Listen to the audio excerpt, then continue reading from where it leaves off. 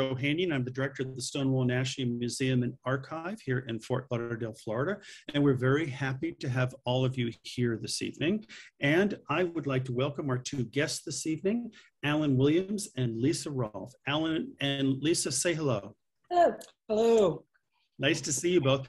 Where are we finding you this evening? Uh, we are outside of Louisville, Kentucky. Um, we are coming to you live from um, the uh, collection of John Burton Harter's work, owned by um, the foundation um, uh, founded uh, in his name. Um, we are sitting among um, abundant uh, drawings, paintings, and various ephemera, all meticulously um, and originally cataloged by him yep. um, that uh, we have been doing quite a bit of work on um, uh, over the last year. That's great. It's nice to connect with you in Louisville, Kentucky. And uh, what's the weather like there right now? It's beautiful. We're finally seeing autumn. Ah. And um, 70 degrees today, and tomorrow it's going to be in the lower 60s. So we're really going to have some nice cool weather, and we've been waiting for it. Well, yes, it's, actually gotten a little cooler down here in South Florida. It's actually it's now in like the low 80s, and the humidity. it's, very, yeah, it's been a very. I couldn't even get in the pool this weekend. It was too cold. oh, so sorry. no, I know our hearts are breaking. Um, but you know, just to uh, to orient everybody, the painting behind uh, in the middle of the two of you, of course, is a self-portrait by John Burton uh, Harter, and there he is. And I I always have loved loved that particular painting because he's showing himself as an artist, but he's also showing himself as a gay man in that picture. There's no question about that. And so, of course, we all love to see artists in their studios. And so it's, I thank you very much for putting that particular piece up because I really do think that's great. For those of you who don't know about Stonewall, um, we're located here in Fort Lauderdale, Florida. Uh, we're one of the largest LGBTQ libraries and archives in the United States. Our library has 28,000 volumes in it, um, which is, they say, is the largest LGBTQ library in the world, um, or even the solar system. Um, I'm not quite sure. Maybe now that William Shatner has gone up into space, he's from there able to see other things. Um, um, but our, so we are there. There are about 10,000 people a year who come and take books out or do research in the library. Um, and then our archive is 2,700 linear feet. And I used to not know what that meant, but if you were to uh, do 2,700 linear feet, that's all the way up one side of the Empire State Building and all the way down the other. It translates to 6 million pages of LGBTQ history. For us, it mostly goes back to 1950 to the present day. Um, and you can really see a lot of what we have in our archive by going to stonewall-museum.org. There are finding aids there and other research tools that are there.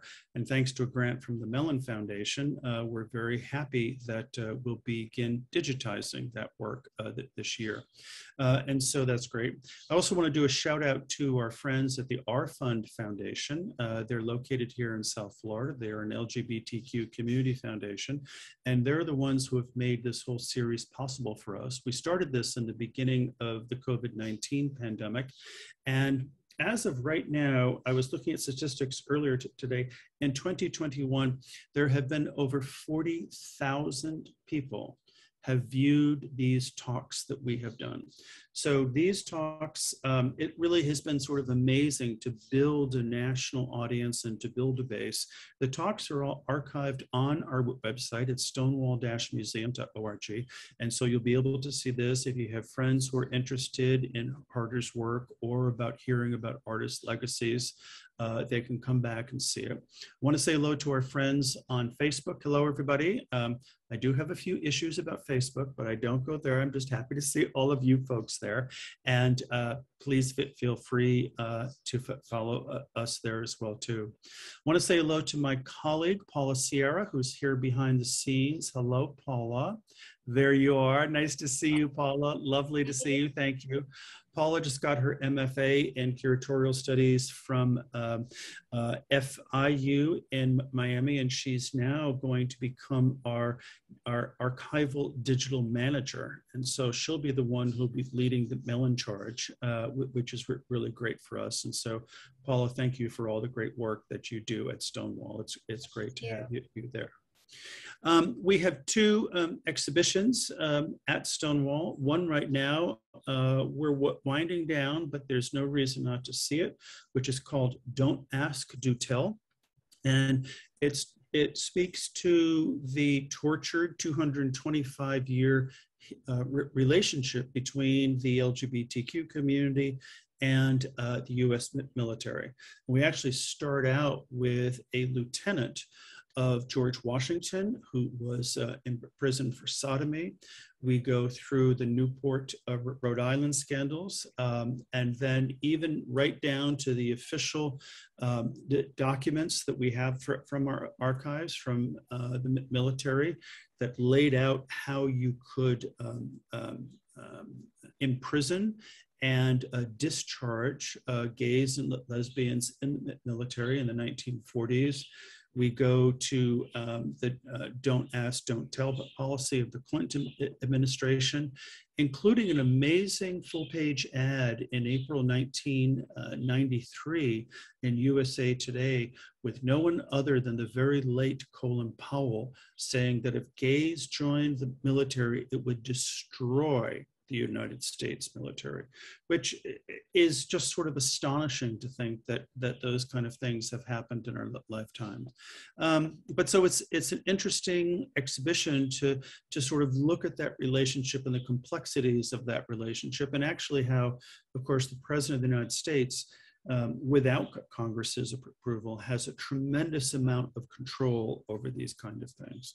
We're thankful today, of course, under Joe Biden's administration, that uh, there are no barriers uh, for LGBTQ people serving in the military. And as of right now, there are over 65,000 of the over 500,000 active military members of the US military in the United States who are openly gay. And it's not quite 10%, but it's really, it's, well, actually it's about 12%, which is really sort of an amazing thing. And so, you know, times have definitely changed. And, and also just one last piece on that.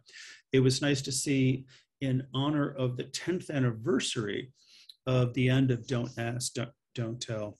Uh, the Veterans Administration, just in the end of September, said that it would restore all VA uh, benefits as well as pension benefits to anybody who had been discharged from the US military as a result of, of their alleged homosexuality. So, I mean, it's interesting that we're living long enough to see amazing changes like this happen in our lifetime.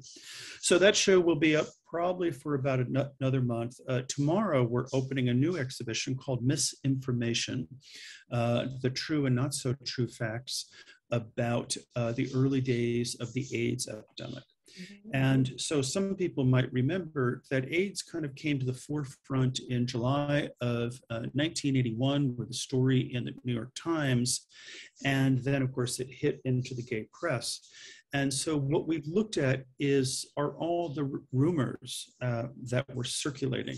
There were things about don't trust vaccines, about vitamin C would, would help you get cured of AIDS, uh, that there were also very judgmental things about this was re related to promiscuity as opposed to a virus. There were those who didn't believe it was virally connected and the similarities between what's happening today in 2021 with the COVID with the COVID virus and what happened 40 years ago is just totally remarkable. So that show um, is coming out of a series of books that we have that we've actually had to take off of our public facing shelves because they are no longer accurate um, about HIV and AIDS, but we've brought them back out and put into the exhibition as well as serials from the gay press from San Francisco to New York to Boston to Chicago to actually show what was actually being spread at that particular time. And the rumors and innuendos. There's one book that says it's America's first politically protected disease.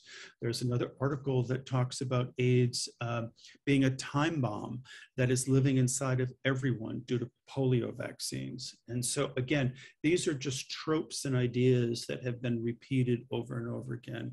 And it's very, it's really very helpful and illustrious to, uh, to, to what we're seeing today. So that show actually opens tomorrow and that will be up until the beginning of December. So again, it's stonewall-museum.org. If you're here in South Florida, uh, please come by and see these things. Um, and um, if not, you can always contact us through the website. We have lots of researchers coming in and out every day at the museum. And so it's great to be able to see everybody.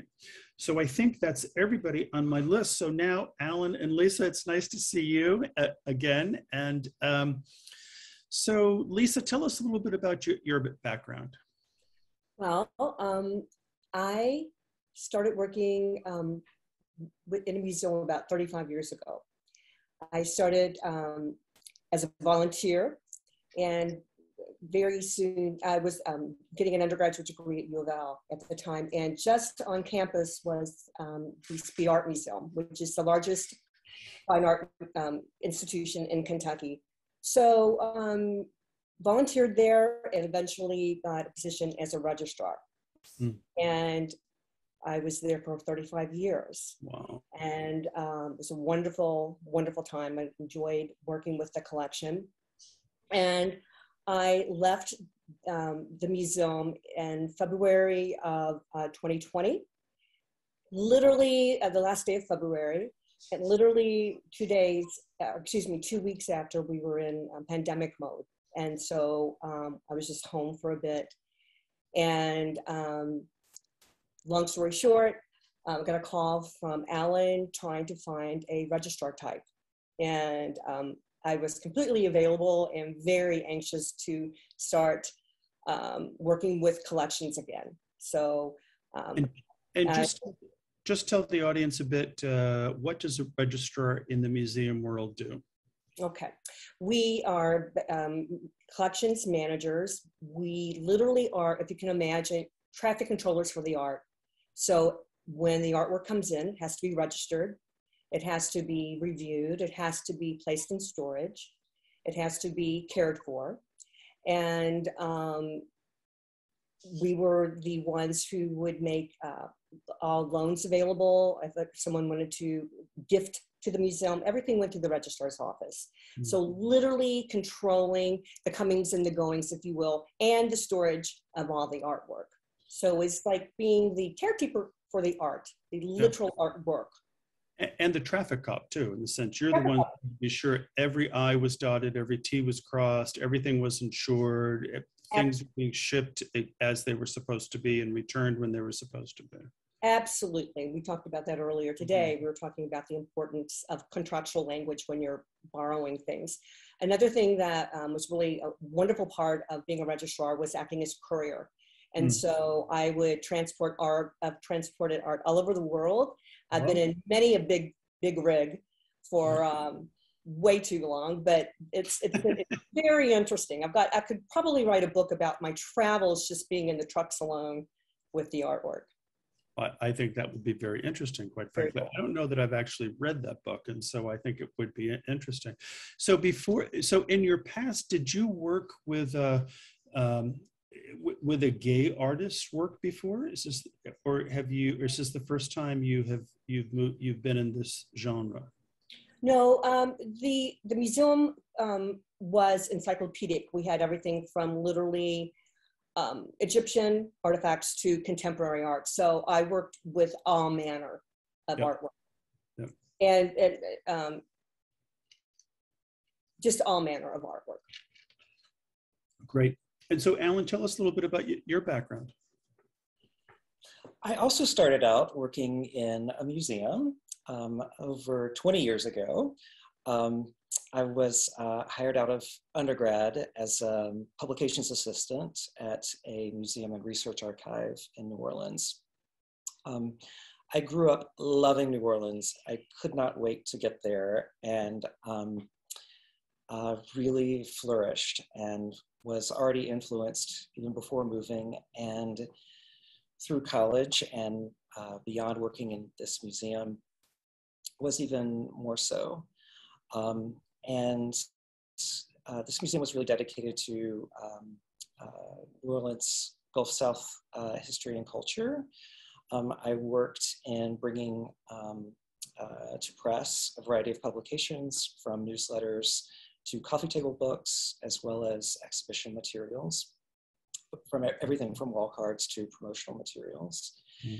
And um, the people of that era of my life, um, like New Orleans, um, were so essential um, to me then um, and now um, as um, uh, someone who already had a um, archival spirit um, as a, a book-loving geek and also as uh, someone who was coming ever more fully into uh, himself and and higher self uh, through full acceptance.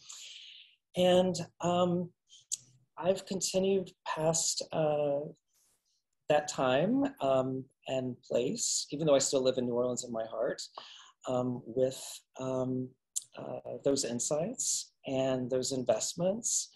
Um, and uh, now, uh, through um, uh, different wandering career uh, twists and turns that we all have. Um, I'm now the director of a communications agency um, that focuses on public health and um, social and behavior change. Um, I specialize in bringing a public health approach to violence prevention, mm-hmm. specifically mm-hmm. for um, uh, populations um, put at greater risk, uh, especially LGBTQ uh, groups. Um, due to um, social inequality and looking at how um, uh, health and well-being can be um, better advanced at the community level. Mm-hmm.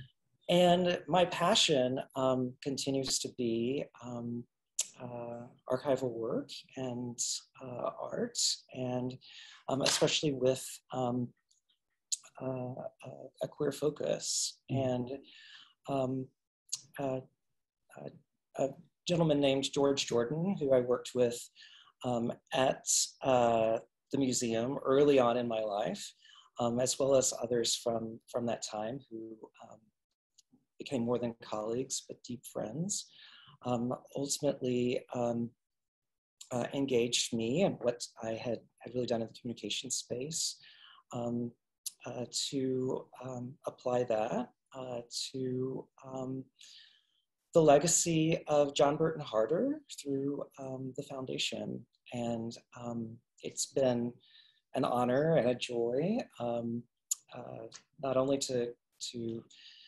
connect with Harter in, in really intimate ways through an incredible body of work, um, but also um, great minds and, and hearts um, like Lisa, mm-hmm. who uh, live and work um, with um, incredible intention um, as a as a steward in this space. It's so it's so great that you use the word steward, of course, because it's something I think all the time. That of course those of us who are who are here to, today um, can only hope that stewards of our work will be out there the same way we take care of other people's work like this. And so it's it's a great privilege to take care of people's work. And so, Alan, you're based out of Atlanta these days, right? Yes. Yes, yes, which I think is important. And also, I think what's important for us at Stonewall in the sense that a lot of our focus has been on the American Southeast. Um, And hmm. so we have a lot of holdings from Georgia, from Alabama, from the Mississippi, and particularly unusual holdings. And so, Alan, when you and I connected last year, it was sort of something that I thought was really important about Harter's work in, in the sense that there is this connection and this importance. And I'll say this with the bias against myself is so I grew up in in Boston and spent a lot of time in New York. And so I'm sort of one of those gay men that are very urban, large city centric. And so I think about the gay world being focused around New York and Chicago and San Francisco and Los Angeles. But hello, uh, there were a lot of other queer people in the rest of the world. And, and so I found this to be so incredibly fascinating and, and, and just, uh, you know, as I say, uh, uh, something that I didn't realize before that, you know, in many ways, these were individuals that needed to or wanted to assert themselves, but not necessarily in sort of the mainstream gay way of doing it, and, and that they had a desire to express themselves in different ways that were more appropriate and or appropriate to them. And, and I have to do a shout out because you mentioned him and we talked about him before, George Jordan, who's somebody who I, I knew very well when I was at the Leslie Lohman. He was a wonderful curator and, and um, involved in several museums in New Orleans, and and so uh, uh, you know George are. Um, if I had a little bit of brown liquid in a glass to, to yes. right now, uh, please know that we are thinking of you and Michelle and uh, and uh, you know it's uh, you know it's it's very sweet to think but you know it's important I, I, don't mean to sort of go for the heartstrings here but it's important as we move things through and think about laying down a record that we are sure that we we speak about those individuals who, who were there before us and and doing that because i think it's uh, as you say he influenced you and and uh, I got to know him as a co colleague, and and he was really just a lot of fun. So, so let's talk about Mr. Harter. Uh, so uh, uh, John Burton Harter um, lived for 62 years. He was born in 1940. He died in 2002. Um, either one of you can go for this to just set us up to like what he was, uh, where he was growing up that got him to art school, that got him to the point where he was going to be a creative. Give us just uh, a few a few minutes about his his background in that way. Um, John Burton Harter um, was born in uh, Jackson, Mississippi. However, his formative years were spent very close to here, um, uh, and actually very near where Lisa lives uh, in Louisville, Kentucky. Um, he uh, uh, got his bachelor's um, at the uh, University of Louisville um, and ultimately um, uh, went on to get his master's at um, uh, Louisiana State University. Um, he also was um, uh, deeply shaped by uh, New Orleans and the Gulf South. Um, most of his adult life uh, was spent there. Mm. he also started out um, in uh, the museum field. Mm. Um, he um, uh, worked at various institutions, um, including the Historic New Orleans Collection. Um, ultimately, he went to uh, Louisiana State Museum um, and uh, progressed up through the ranks of position to be uh, the chief curator of collections uh, at that institution um, for um, the prime of, uh, of uh, his professional life and career. Um, and uh, yeah, so that's those are the, the, the kind of factoids. Um, it, it, provides, it, provides, good context because he was in Louisville and then he moved to the bigger city from Louisville down to New Orleans and he was attracted down there. Uh, whether or not he thought of it in that way, we, we I, I don't know. But he spent uh, from 74 to 91 working in curatorial positions in New Orleans. And, and so that was his day job. And then clearly he viewed himself and was an accomplished artist and was making a whole trove of work. And Lisa, have you been able to figure out as registrar how many pieces of work exist numerically? I can tell you that I have 4,166 pieces here. Wow. So, So over four, yeah. It's over 4,000, over 4,100. Um, what's interesting is he he kept everything that he drew. He kept Mm. all of his artwork. I literally have found work from 1948 when he was eight years old, and it says this was his first painting, and also his second painting that he had done um, as a young child. And so there's artwork from that time and his time at U of L um, taking art classes. And so he's kept a little bit of everything. So there's much artwork. That's literal drawings and paintings, but there's also a great deal, and we can talk about this later, but a great deal of photography. Mm. He was an avid photographer and he uh, was an avid traveler. He took, there's a lot of travel um, photography, but also he used himself as model Yeah. and he did a lot of self portraits and used his friends as models. So there's a lot of photography here as well. So there's a whole storage unit filled with um, artwork and photography. Mhm. You raise a you raise a point which is a question for, for me in the sense that uh, going back to that very very early time, is there any evidence that you found about other creatives eh, in his parents or other influences where he would believe it was so important for him to mark at an early age my first painting, my second painting? I have to wonder if this is just genetics. You know, sometimes people just, he, he's a chronicler, Mm. chronicles everything. And I think that's just in his makeup. Yeah. I mean, I, I don't know. You know, I just, I, I, he, he relished his, the work that he was making and he kept it. Mm. And he kept great records of everything that he did. He made his own catalog cards for things. And um, so it's, it's something that I think was very aware of. Just Yeah. keeping, Well, I, I think that that's and tracking things. Yeah, I think that's a really good point because some of it is is just about even at an early age that somebody thinks about things in, a- in, a- in a- linear way and sort of a time based way that they think about things like that. And I, I, I think that that's that's an important piece to sort of try to understand the the individual as we go through it. Well, I know that you guys have prepared um, a little PowerPoint to uh, show us some of the, the work.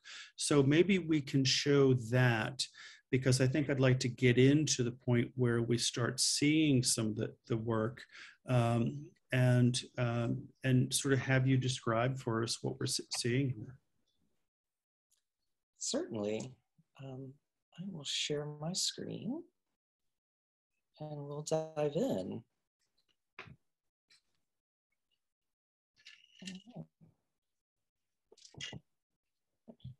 Can you see Hunter? I can't see it yet. Uh-oh. You, you have permission. I just checked. There we go. Now I see it. All right, thank you. Um, um, so this is a, a salient quote um, of Harter that's uh, really representative of so much that um, uh, we're going to show. Um, he says, I'm an artist first and a gay artist incidentally, but a large part of my work reflects a gay orientation.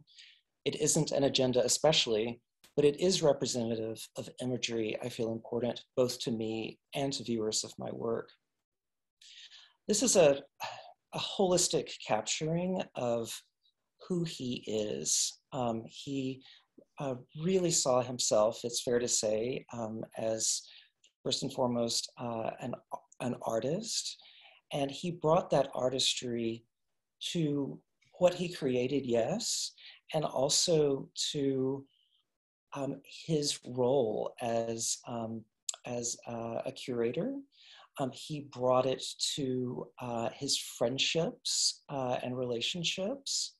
And it is um, a, a, way of being um, cast through a gay lens that was essential both to who he is, uh, and also um, uh, the uh, uh, world that he was documenting, um, as well as um, the audience that he had in mind.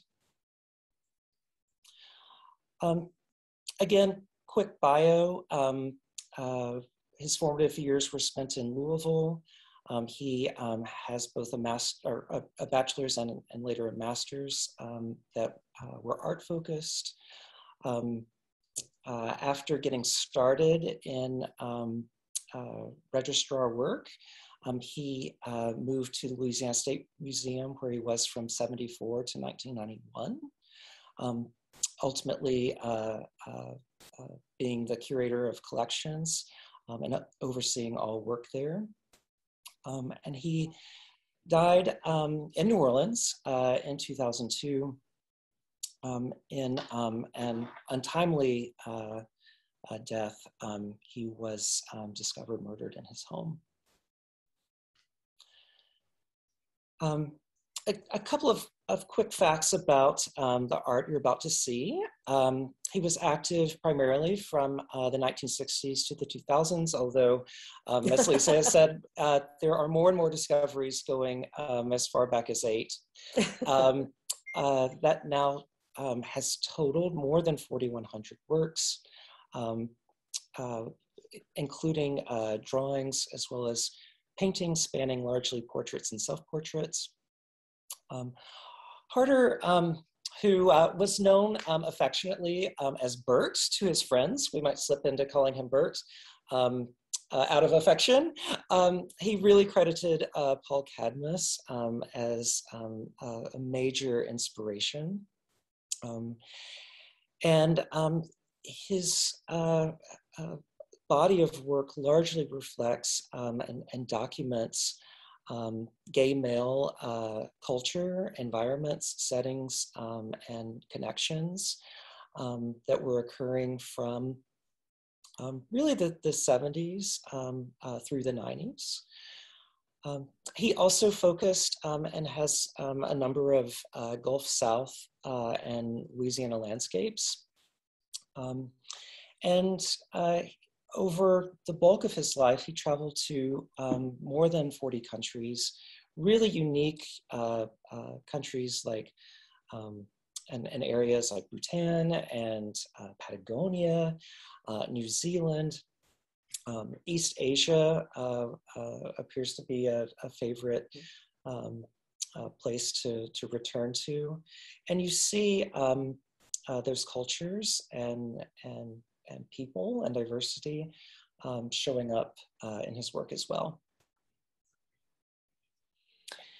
Um, so uh, Harter really excels um, as um, uh, a, in the uh, drawings, um, in, in particular, the really fine uh, figure studies and the compositions um, that he uh, did throughout his career. Um, you know, the work is incredibly detailed, um, uh, very, very fine um, uh, anatomy studies, um, you know, but also exploration, explorations in, in shading through a variety of techniques. Um, the piece on the, on the right, draped figure, has a background with the most tiny, minute uh, cross hatchings um, these are you know, really detailed, uh, time-intensive, um, uh, marvelous works to um, to uh, to really see. Um, was he? Did he write? Uh, going back to those drawings for a minute, were you able to find any contemporaneous drawings about his point of view in these drawings? What he was going after? Was he a diary as i see of course the diarist here but what was he was he creating a diary about these pieces we find that these um, uh, drawings are really expansive um, and comprehensive across uh, topics. Um, the early drawings are really focused on, on, on the male form. I mean, they're, they're very anatomical in nature. And the as he progresses, you see um, you know a variety of of scenes from um, the everyday um, to um, works that continue to be focused on um, the figure um, that have various levels of eroticism uh, infused through them.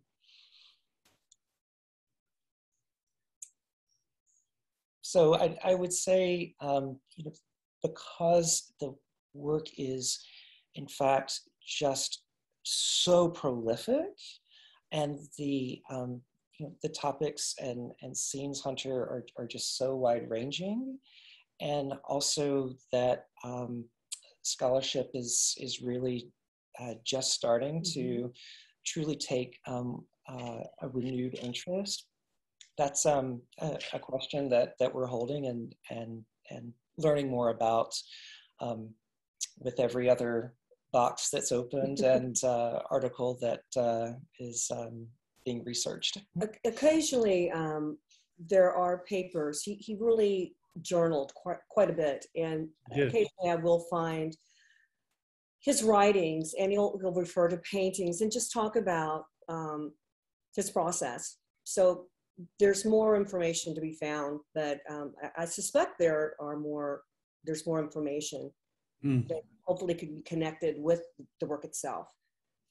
Yeah, I, I only ask because, of course, you look at the uh, the marvelous detail in these two drawings that you've put here, and you think, of course, here's uh, here is an intellectual, engaged individual, sort of prime of his career, and he wants to be sure, um, not that he knew about his um, early de- demise, but you, you, would want to think that he wanted to put this in some kind of context because he, as a curator, of course, he understood you know 2000 3000 years of art history. He he was trained as an artist. He understood the importance of interpretation.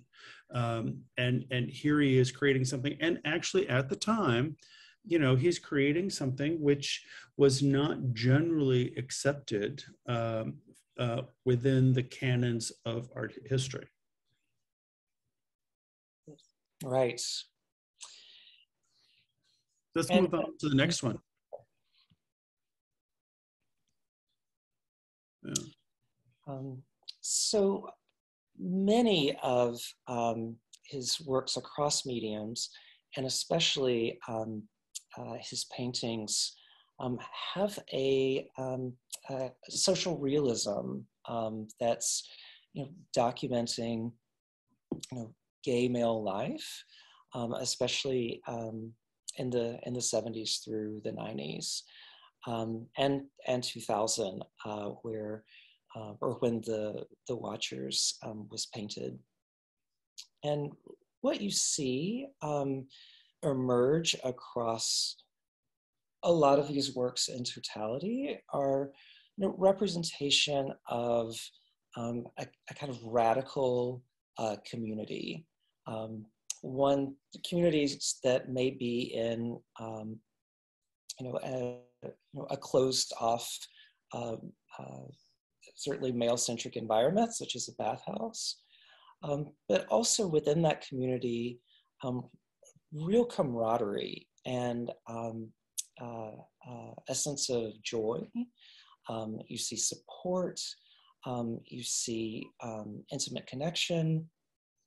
And through these uh, uh, paintings and, and others, you just feel a real um, you know, warmth and um, uh, even kindness shown um, between men uh, in these spaces. And you know, that focus on um, uh, the way friendship, relationship, um, uh, whether um, short term or long term, the way it sparks, where it sparks, giving rise to um, you know, a, a, radical community um, is um, one major recurring theme that uh, has been um, you know, really resonant uh, to see, especially with the positive nature of it.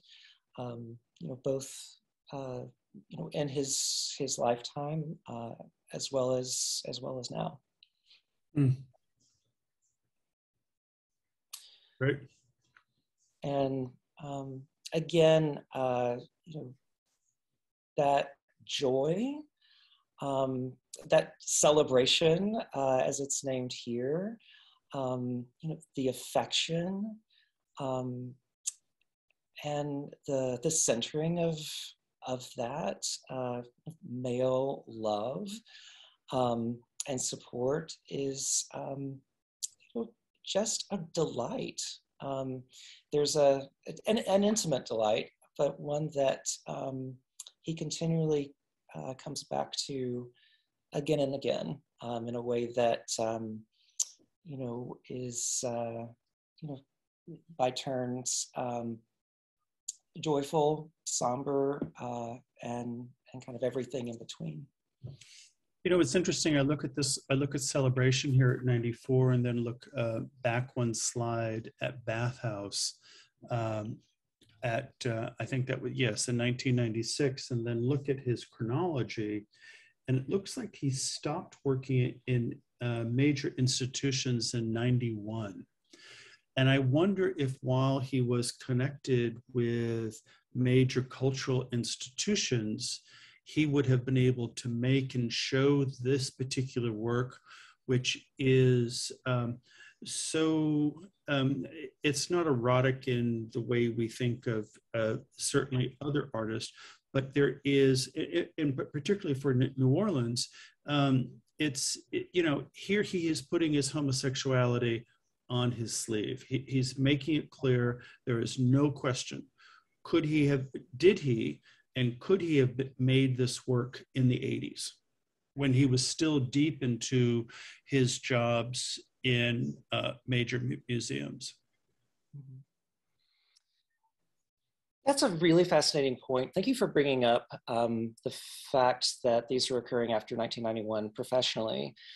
The other timelines that really come to mind um, that uh, again some scholarship is is still progressing but i think it alongside um, you know him um, moving fully into this work um, uh, after Louisiana State Museum um, are, are, two things. One, um, he, uh, we learned last year in a um, oral history given by Charles Leslie, uh, one of the co-founders of Leslie Lohman, um, that uh, uh, Patrick Angus was um, uh, an influence that um, Harter shared with Charles um, as uh, someone who had whose work in addition to Cadmus had meant a lot to him. And when you start to um, line up some of the early uh, works um, that you know can can be really commenting on um, social life. Um, it it it's it lines up with a, a, a kind of exposure to you know uh, Angus's uh, uh, major works that are you know occurring in and are, and are portraying say the bar scenes um, you, you then start to see Harter do more of that kind of work after. Before that, he's just far more um, focused on uh, the, the figure and and, and the male form solo rather than um, rather than groups and, and um, uh, relationships of all types.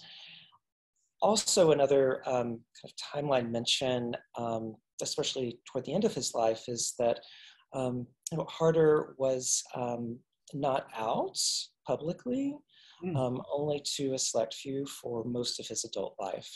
Mm. it was really only at the end, or, or um, not end, but it was really after, uh, frankly, his mother passed that um, he um, uh, came out fully um, as a gay man. And there's a fascinating um, uh, tension uh, between um, his uh, you know focus on the male form, especially his own form. He was uh, his first model um, and continued to be. We, um, let's move into that actually. So um, Harter uh, uh, uh, off, worked through a photographic process. Um, he would photograph himself um, often um, and in various poses, and then work through a series of stages. Um, uh, drafting, doing really interesting um, uh, uh, sketches within and fascinating uh, uh, grids with a draftsman-like approach um, on the journey, iterating a vision for an image. Um, but and and while he did have a, a number of models whom he also photographed um, over his life as an artist. Um, he used him his own form first and and and foremost, um, and uh, speaking again to that kind of uh, uh, beautiful tension between someone who you know, truly was was closeted. He really put that um, put himself forward, um, who he is, who he uh, um, physically was, um, onto uh, the paper and, and canvas as a gay man. And uh, coming full circle to your point, um, it's, it's in the 90s when he's fully out that um, is also aligning with that timeline that that that focus um, on um, on on groups and also his his own form in groups um, starts to happen. Yeah, and I think in looking at these three images, in the sense you're looking at something in um, 76, something in 77, and something in 79, um, just in a three year period. And he would have been um, somewhere between um, 37 and 39 at this time. He would have been well into his professional career. Um, but to my eye, of course, looking at these, these th- this is somebody, particularly because he's using himself, his his own body.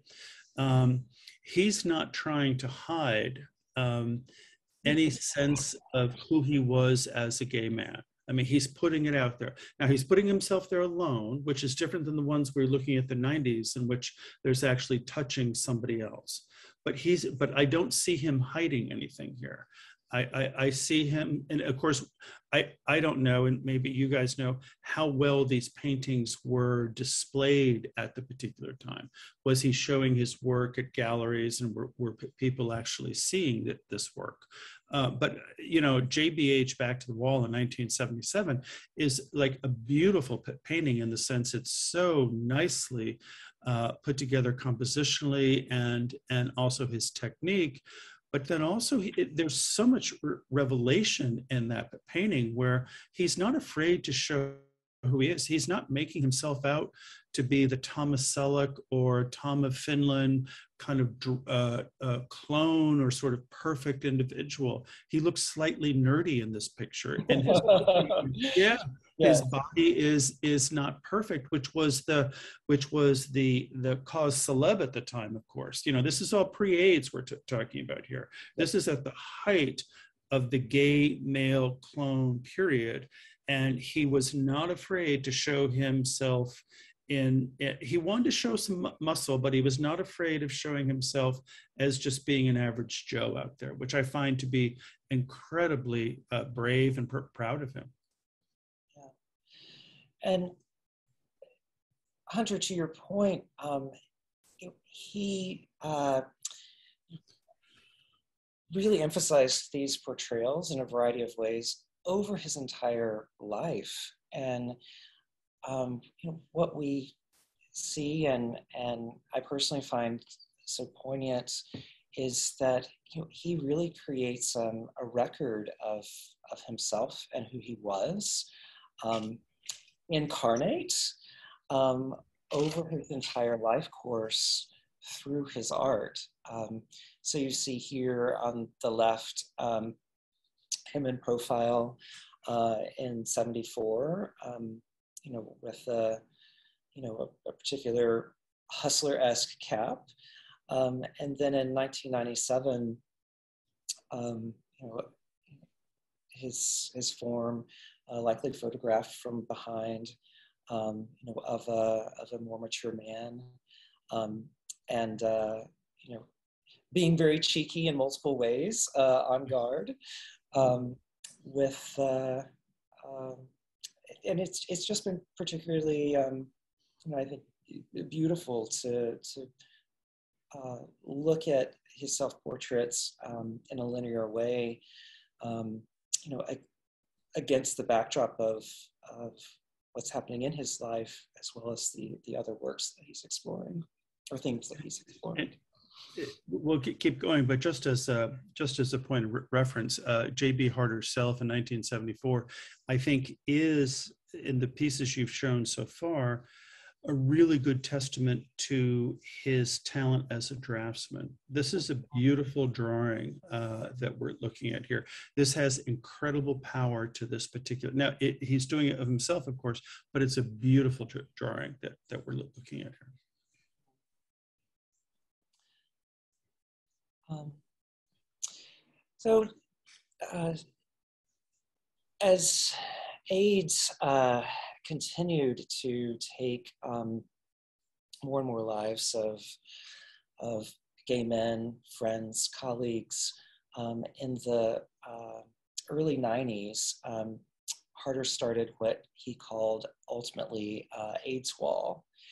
Um, he would uh, paint portraits of uh, friends and, and loved ones um, who were uh, living with HIV uh, AIDS um, and uh, who um, ultimately died um, from complications. Um, and these were uh, memorials to um, uh, who they were um, in their uh, in their prime uh, through that that celebratory eye that that he would bring, while also capturing um, you know their their unique personalities um, as well. Um, these uh, what you're looking at um, is um, the installation of uh, uh, uh, many works from this series, not all but many, um, uh, in a conference room at Crescent Care. Um, Crescent Care is an organization that provides low cost medical services um, in New Orleans. Um, it is um, uh, the organization that, that grew out of the No AIDS Task Force. Um, in Harter's life, uh, he was the largest uh, individual donor um, to uh, the No AIDS Task Force. And um, it, when uh, Crescent Care opened uh, their newest facility on Elysian Fields in, in New Orleans, um, they wanted um, a focus on uh, uh, art by uh, queer artists. And um, this uh, had a lot of synergy um, to explore, you know, a permanent loan of, of this work um, to um, you know, this institution that had meant uh, so much to him in terms of um, you know what they provided, um, not only in terms of, of uh, medical care and, and services, um, but also to um, the community that Crescent Care not only uh, takes care of, but also strengthens uh, through um, uh, outreach and uh, uh, various community-based initiatives.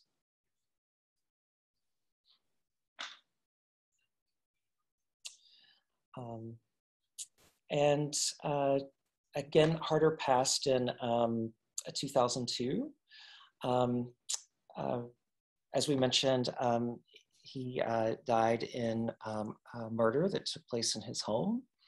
Um, it is still uh, considered um, an open investigation as the New Orleans Police Department defines it, um, and is is still an unsolved mystery.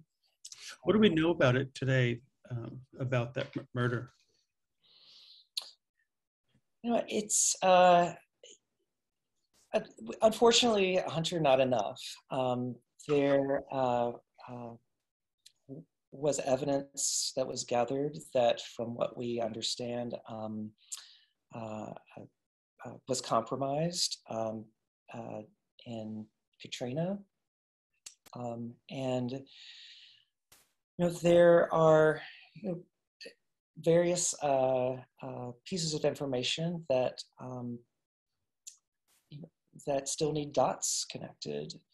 Um, and, uh, uh, and, and, any information actually that, that anyone has um, would be incredibly valuable in, in learning more. Um, but he, he passed in, uh, away in, in his home in, in, this, in this murder. Uh, and um, uh, he was stabbed to death. Um, and um, it's really rocked uh, uh, the entire community of New Orleans. Um, he was incredibly beloved, beloved, very well liked, very well known. Um, he was a, a, a, generous friend to so many, and um, it was uh, uh very disturbing mm. then and now. Mm of course, having having an unknown uh, end like this, he was a young man in the sense he was only 62 at the time that it happened, um, and um, uh, so it's you know he'd be um, he'd be well into his 80s right now, where he's still alive today, uh, and hopefully still making work. We only have a few minutes left, um, and I have a couple more questions. But um, Alan, do you have any more slides you want to show here? Uh, um, we've talked a lot about the collection, um, just with where we're at. Um, uh, Lisa, would you like to say anything more about kind of our process and? Well, um, I'm so pleased that mm-hmm. um, the trustees are taking um, this so seriously in the legacy of, his, of, of Bert's, of Harter's art. Um, I was charged with um, doing an inventory. And with that, um, I've established a database for all of the collection. And with the database is just um, your basic information concerning the piece. So everything has been literally seen, you know, viewed, um, photographed, um, and I have made condition reports for every work in the collection. So it's it's, it's been um, wonderful getting that into a database so that everything um, is in one central space.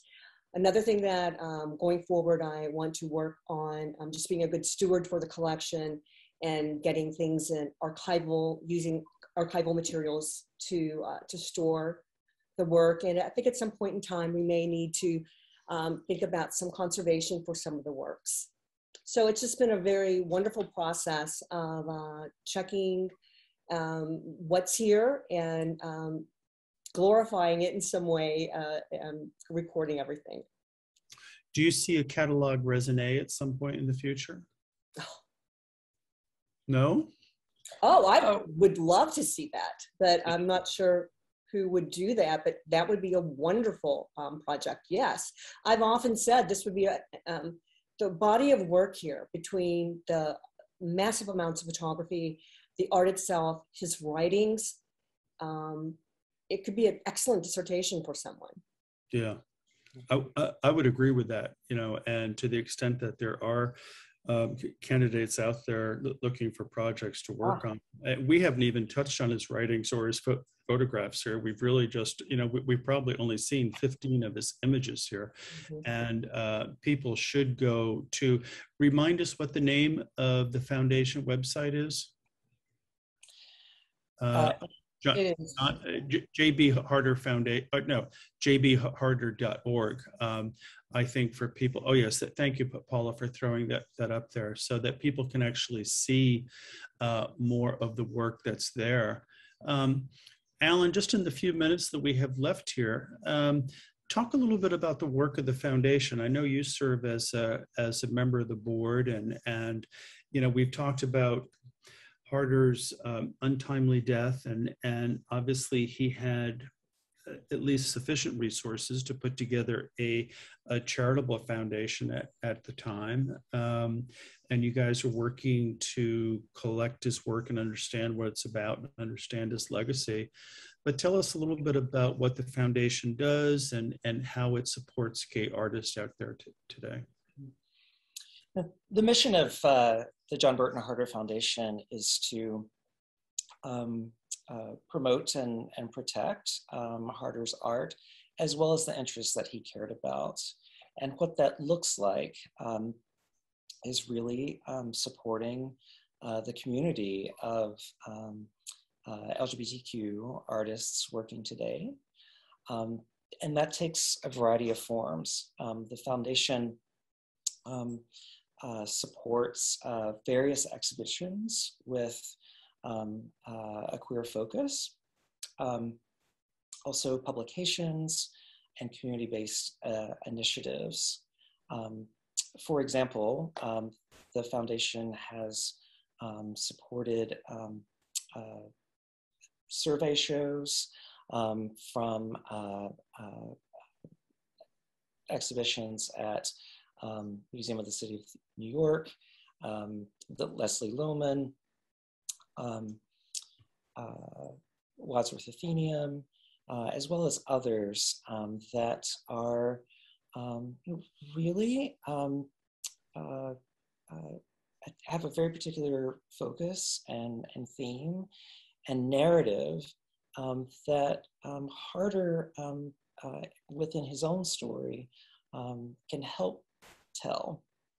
Um, some of the, the, the strongest um, uh, showcases that have been staged are um, ones in which um, you know, his voice is, is added to um, a chorus. Um, and his work is so diverse and, and multifaceted that uh, there are a number of, of themes that really connect to really that radical community of, of support. Um, and the, the beauty of the foundation is that it has made possible those initiatives, um, not just uh, on museum walls, but also um, through um, the uh, LA um, LGBT Center. Um, for example, they had uh, for a couple of years a live drawing class in which uh, participants would um, you know, take an art course.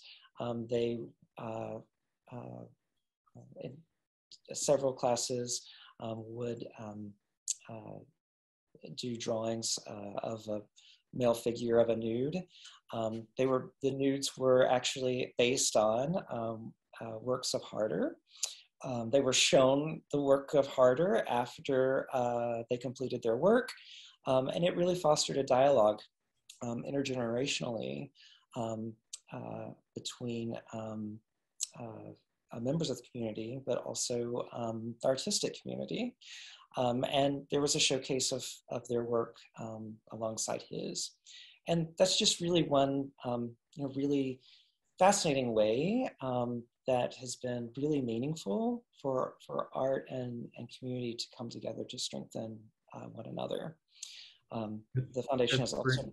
That's great. And it really sounds like it's so consistent with what his wishes were of being able to get this work out there and to be able to nurture um, nurture other artists. So Lisa Rolfe and Alan Williams, thank you so much for being here. Lisa, good luck uh, in continuing your work and re registering these uh, and cataloging these pieces. Uh, I vote for the uh, catalog resume, however that happens. I think that would be an amazing thing. Alan, congratulations on all the work that you're doing professionally, in Atlanta, but also the work that you're doing with the foundation as well too. I think this is just great. Uh, may you make lots of money in the foundation to allow you to give out more money to other organizations out there, and actually, you know, to to get um, Harter's work out there um, in the sense that people can really see it. I, I, I find the work to be very approachable. Um, you know, it, it may have seemed tran- transgressive at the time, but you know, but now, but now, you know, another whole generation has passed, and and I think it's I think it's uh, illustrative work. I think it's work that can that can actually uh, teach another generation and future generations about finding oneself and about how they document their own community. Not to mention the man had a beautiful hand in the sense that he was really able to, to draw things in, in an amazing way. So congratulations to both of you so for, for the work. Um, I encourage everybody to uh, visit the site. Uh, let me say goodnight to my colleague, Paula Sierra. Paula, are you still there? Oh, yes, you are. Nice to see you. Thank you. Uh, she's in Miami and I'm here in Fort Lauderdale. So everyone, it's been great to see you this evening. Uh, thanks to our guests and um, come back. We'll be back in two weeks with our next show. And so um, everybody stay safe. Um, and if you haven't bought your, bought your ticket yet to our gala, they're almost run out. It's gonna be on November 8th. So please be sure to buy a ticket there. So long, everyone. Thank you. Thank you.